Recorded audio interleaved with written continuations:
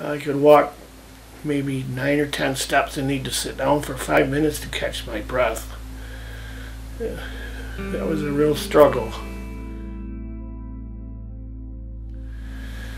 In 2010, I was diagnosed with pulmonary arterial hypertension, along with emphysema, COPD, and um, congestive heart failure.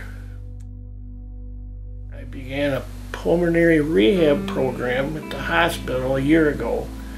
Uh, I was pushed in there the first couple of times in a wheelchair. And once I started exercising, it wasn't long before I wasn't using the wheelchair any longer. I was walking on my own. He's just been wonderful. Um, you know, he really has a strong commitment um, to see where he's come. When he first came, he was pushed in a wheelchair, and now he can climb the stairs. Um, and just the fact that he um, is willing to, um, you know, drive or ride his electric bike in, um, you know, legally blind in the middle of the winter just shows his commitment. I just feel so much better about life now. I'm optimistic. I'm, still on a lung transplant list. I'm waiting that.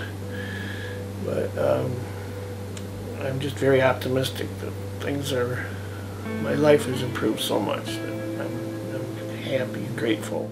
see a lot of billboards around the Grand Rapids area for the Children's Hospital or for the Heart Center. Well, if we were to ever get a billboard, Larry would be on it because he's a classic example of um, what determination will do.